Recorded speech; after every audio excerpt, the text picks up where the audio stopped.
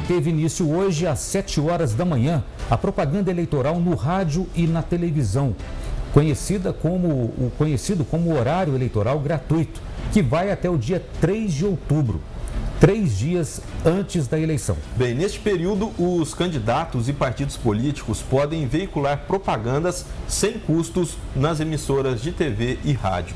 O tempo dos candidatos é definido de acordo com a representação que os partidos deles têm nas bancadas da Câmara dos Deputados. Aqui em Piuí, Dr. Paulo César Vaz tem 8 minutos e 19 segundos de propaganda eleitoral no rádio. Já o candidato Zé Greni terá, tem 1 minuto e 40 segundos. Bem, em Capitólio, Cristiano da Silva, o Cristiano Gerardão, ele tem 5 minutos e 7 segundos. Já o candidato doutor Zé Eduardo, 3 minutos e 13 segundos.